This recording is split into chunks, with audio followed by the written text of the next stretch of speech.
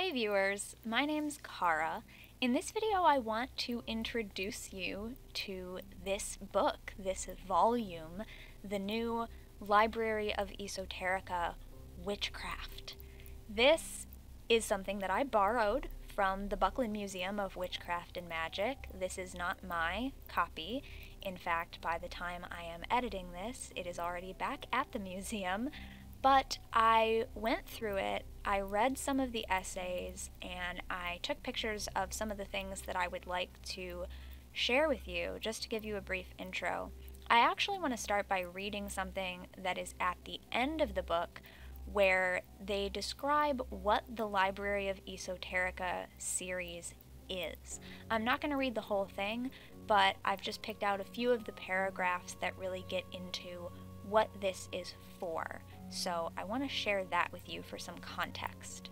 The Library of Esoterica explores the expansive visual history of the arcane, showcasing artwork birthed through the expressions of a wide variety of traditions and rituals. The intent of this series is to offer inclusive introductory overviews to these ancient rituals and to explore their complex symbolism objectively rather than dogmatically. In doing so, the aspiration is to draw back the veil to reveal a deeper appreciation of these valuable tools of the psyche. The goal of this series is to present condensed summaries of these ancient systems, and from there encourage readers to further explore the rituals, ceremonies, and sacred philosophies of various global cultures. The task is to inspire readers to seek out knowledge, to study the teachings of scholars past and present, who have dedicated themselves to the development and preservation of these ancient arts. The hope is that the Library of Esoterica emboldens readers to begin their own journey down into the dark halls of the arcane, to pull the dusty tomes from the shelves, to take the time worn cards from the satchel and spread them across the silks, to look up to the sky and read meaning in the movement of the stars. So, immediately when you open this book, there is a beautiful frontispiece that was done by Laura Tempest Zakroff. Love seeing this immediately. And then this volume is edited by Pam Grossman and Jessica Hundley. They have each written multiple essays for this work.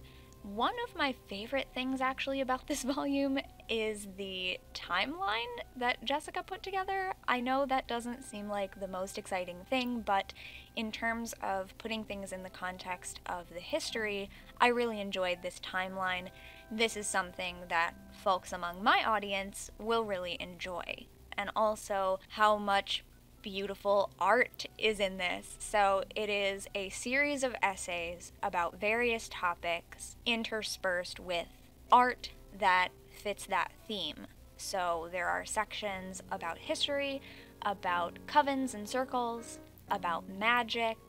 There is a whole section looking at the Wheel of the Year and the eight Sabbats, also each of the classical elements and multiple essays within those. There are also contributions from so many others, like the Buckland Museum of Witchcraft and Magic was part of this, as well as folks who have donated things to the museum or have been to the museum, some of whom I've met in person, like Najah Lightfoot, and some I have not, like Bri Luna, the Hoodwitch, who visited the museum shortly after it opened. And of course, our magic circle painted on the floor was done by Jesse Bransford, and there are several other pieces of his work in this collection as well. There are also images of things that we have at the museum photos of Raymond Buckland and others who worked with him, Rosemary, and so on, and things that have been on display at the museum in the past that were part of rotating exhibits.